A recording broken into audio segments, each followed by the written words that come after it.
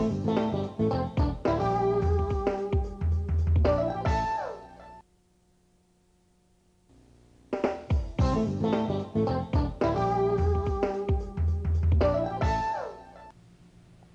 and welcome to the video lessons for trigonometry. My first definition over here has to do with angles and I've drawn a general angle over here. It's two rays, the ray OA and the ray OB with a common endpoint and that's called the vertex of the angle. This side right here, OA, I call the initial side and this side OB is the terminal side and I can think of OA as being rotated up around into OB and that's what forms this angle right here, theta. Now, if an angle is measured in a counterclockwise direction like this, it has positive measure. In a clockwise direction like this, we say it has negative measure. As far as degrees go, one degree is one 360th of a full rotation. So if I was to take a ray like this and then rotate it around its vertex, one complete rotation, the angle that I would end up with is an angle of 360 degrees. So one degree of angle measure is one 360th of a full rotation. Now we have some other designations for angles like a right angle, straight angle, acute, obtuse, supplementary, and complementary, and I want to look at those next. Here's a right angle, like this. A right angle is 90 degrees. Here's the initial side, the terminal side. This is a straight angle. Here's my initial ray, and it's been rotated around one half of a full rotation, so half of 360 is 180 degrees. I call that a straight angle. An angle that is between 0 and 90 degrees is called an acute angle an angle that's bigger than 90 but less than 180, that's an obtuse angle. Here I have two angles that together add up to 90 degrees, angle alpha and angle beta, they're called complementary angles. These two angles right here, alpha and beta, add up to 180 degrees, so they're called supplementary angles. So these are some general designations we have for angles right here, and as we go through the course, you'll see we'll become more and more familiar with them, especially complementary angles and supplementary angles, and of course, right angles. Next, what I want to do is work a couple of problems. For problem number one, I have 45 degrees as the angle. I want to write its complement and its supplement. Well, the complement is the angle that I would add to 45 degrees to end up with 90 degrees. So that is, of course, 45 degrees, which is 90 degrees minus 45 degrees. For the supplement, that's the amount that I would add to 45 degrees to get 130 to get 180 degrees, so that's 135 degrees. So you can see if my original angle is 45 degrees, its complement is 45 degrees, and its supplement is 135. 135 plus 45 is 180, 45 plus 45 is 90. Our next one is 120 degrees. Have 120 degrees. What would I add to 120 degrees to get 90? The answer is negative 30 degrees. And it's okay to have negative numbers with our angle me measure right here because that stands for an angle that's measured in a clockwise direction from its initial side. Now, if my original angle is 120 degrees, its supplement then is going to be 60 degrees. That's the amount that I would add to 120 degrees to end up with 180 degrees. So I would say the supplement of 120 is 60. Or I could say 60 and 120 are supplementary angles. Next, I have written angle that has x degrees per measure. Its complement then is the amount I would add to x to get 90, and that must be 90 minus x. So 90 degrees minus x degrees is going to add with x degrees to 90 degrees. So 90 minus x plus x adds up to 90 degrees. For my supplement right here, it's the amount I would add to x to get 180 degrees. That will be 180 degrees minus x. So even if I don't know specifically what the amount of angle measure is that I have, I can still write an expression for the complement and the supplement. So if my original angle has x degrees in it, its complement will always be 90 minus x, and the supplement will be 180 minus x. And we will use this information from time to time in this course to um, work other problems in trigonometry. Here's our last one. 90 degrees, what's the complement of 90? The complement of 90 is 0 degrees, and the supplement of 90 is 90 degrees. So I have 90 degrees and 0 degrees. They would add up to 90, and 90 plus 90 will be 180 degrees. Next, I want to talk about some special triangles that we have, and the first one uh, has to do with right triangles and is called the Pythagorean theorem. Here I have a uh, triangle in which one of the angles is a right angle, so this is a right triangle.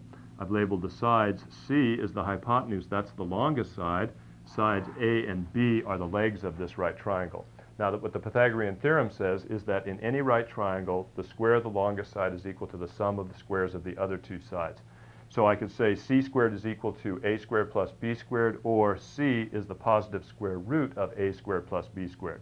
So Pythagorean theorem is something we're going to use a lot in trigonometry. Let's go to the board and work our first problem using the Pythagorean theorem. We want to solve for x, and I have a right triangle here. The hypotenuse is square root 10. This side is x plus 2, and this side is x. Well, by the Pythagorean theorem, I know that the sum of the squares of these two sides is going to be equal to this side. So x plus 2, quantity squared, plus x squared must be equal to square root 10, quantity squared. I'll square this expression. I have x squared plus 4x plus 4 plus x squared is equal to the square of the square root of 10, of course, is 10. Now I'll collect similar terms. x squared plus x squared is 2x squared plus 4x. And now let me subtract 10 from both sides to put this quadratic equation in standard form. I add negative 10 to both sides and I end up with negative 6 or subtract 6 on the left side equals 0. Next, I'm going to divide both sides by 2. So I end up with x squared plus 2x minus 3 is equal to 0. Let me try to factor this. Hopefully it will factor. x, uh, how about x plus 3 and x minus 1. Is that correct? Inside I get 3x, outside negative 1x. They add up to 2x, sure enough. So I set my first factor, x plus 3 equal to 0 or my second factor, x minus 1, is equal to 0. So if x plus 3 is equal to 0, x is equal to negative 3. And if x minus 1 is equal to 0, x is equal to 1. So I get two possible solutions, x equal 1 and x equal negative 3. Now, x, remember, is a side, of the length of a side in a triangle, and so it can't be a negative number. So I'm going to have to disallow this one solution, x equal negative 3. So I can't use that because this is an applied problem here, x equal 1 is my only solution. So this side is 1, this side will be 3, and then this side, of course, is square root 10. Now, does that make sense? 1 squared plus 3 squared. Well, 1 squared is 1, plus 3 squared is 9. 1 plus 9 is 10, and sure enough, the square of the longest side, square root 10 squared, is equal to the sum of the squares of the other two sides. The next thing I want to show you is what's called the spiral of roots, and the spiral of roots is produced using the uh, Pythagorean theorem. So I've drawn it over here on the board, and what's nice about this spiral of roots is that each of these diagonals right here has a length equal to the square root of one of the positive integers here. So this first one is square root 2. This line, this length right here is square root 3, square root 4, square root 5, so on and so forth. So with this spiral of roots, what you can do, you, what, what it gives us is a way to visualize the square roots of all the positive integers. So all these irrational numbers that we have, here we have actual uh, line segments that are whose length is exactly equal to those um, irrational numbers. So what I want to do next is uh, go to the board and show you how to construct this spiral of roots.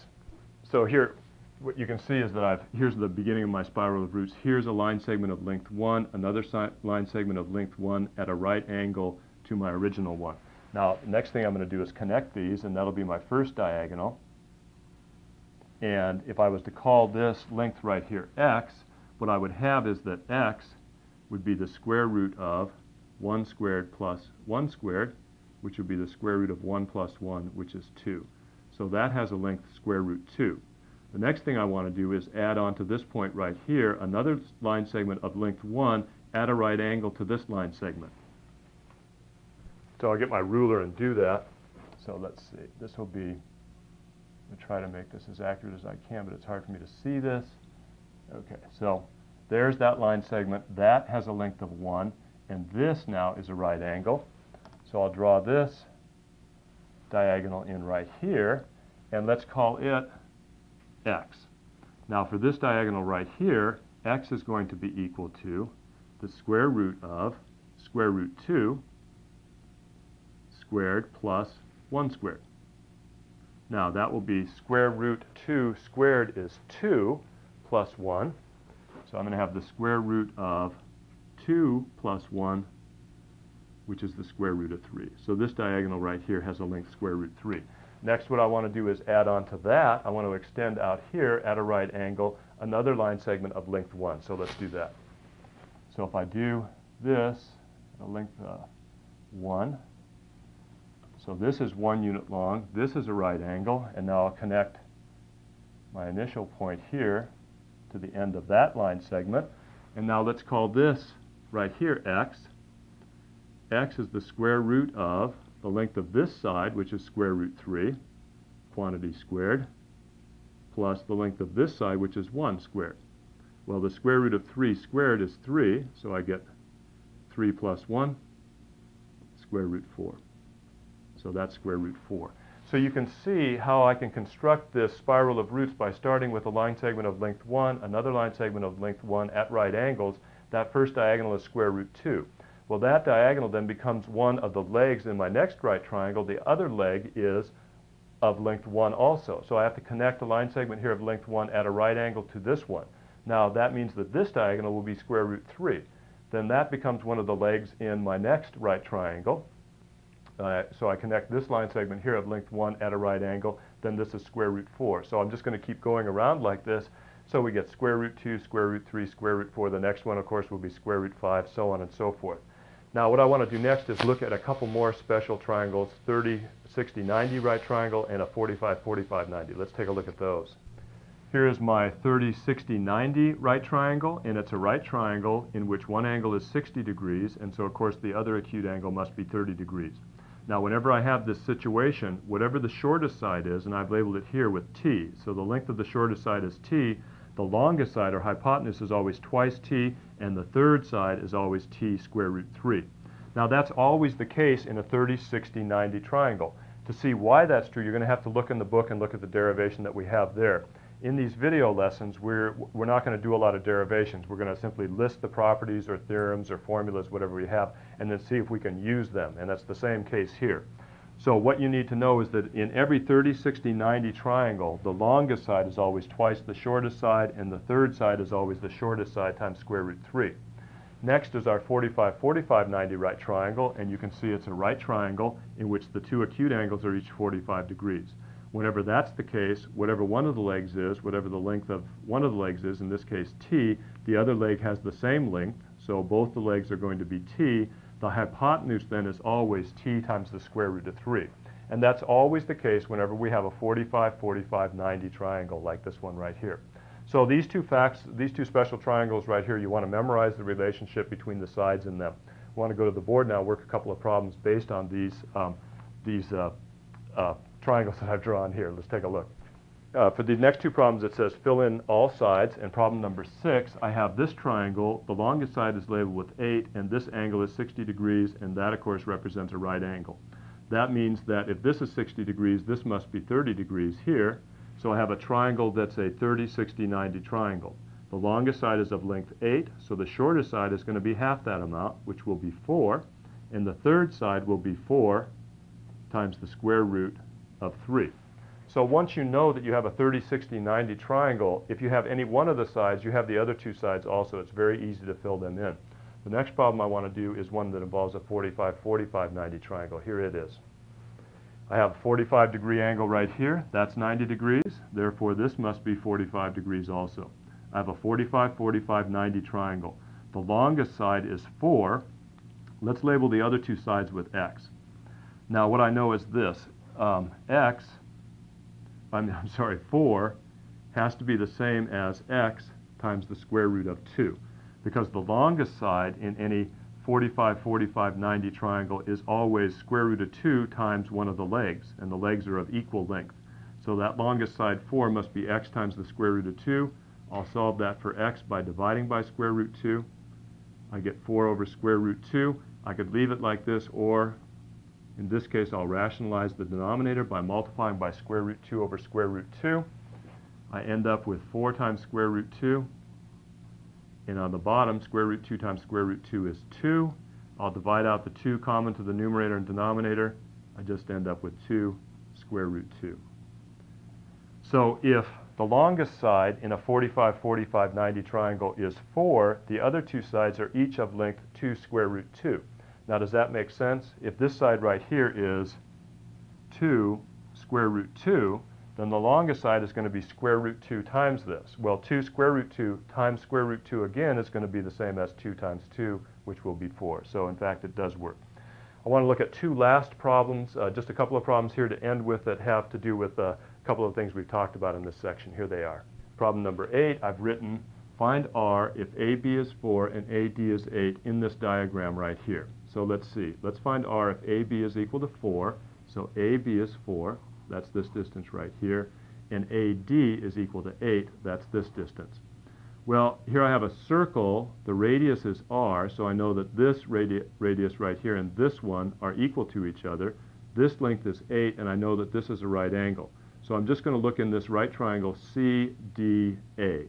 So in that right triangle right there, the length of the longest side, which will be r plus 4, the longest side squared is going to be equal to the sum of the squares of the other two sides. So r squared plus 8 squared. So what I have is the Pythagorean theorem right here. The longest side, or hypotenuse, is r plus 4. That squared must be equal to this squared plus this squared. That gives me an equation to solve. Let's see what we can do. I'll square this and get r squared plus 8r plus 16 is equal to r squared plus 64.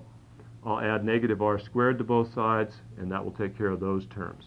Now let me add negative 16 to both sides, and I'll end up with 8r is equal to 48. Divide both sides by 8, and r will come out equal to 6. Now, does that seem to make sense? If r is equal to 6, then I have a right triangle here where this side is 6, this side is 8, and this side is 4 plus 6, or 10. So a 6, 8, 10 right triangle, and sure enough, that works because 6 squared plus 8 squared is equal to 10 squared. Here's our next problem. Problem number nine, it's a cube with a side of length 1, or AC is equal to 1. So this is supposed to represent a cube. That length is 1, so that length is 1, that length is 1. All of them are of length 1. Let's find the length of CH. Well, CH goes from here over to here. It's that diagonal. So let me draw a little picture here. So we can look at the right triangle right from its side. This would be this point C. Over here would be D, that's this point, and here is H right there. So this is CH, that length right there. Well, this is 1, and this is 1, so this, this length right here must be square root 2. So that's that diagonal that goes from C to H. That comes out to be square root 2. Next, I want to find the length of this diagonal CF, and you can see that CF goes from here over to here. So it's the diagonal of the cube itself, from this vertex or corner right here on the cube all the way over to this opposite corner. Now that will form a right triangle CFH. And so one leg of that right triangle is going to be this CH that we just found right here. Let me draw that. So here's this triangle here, CHF, and it will look like this. Here's CH, here's HF, and then here is FC. So CHF. So C H, this right here is this diagonal, then HF, that's this right here, and then here's the length that we're looking for.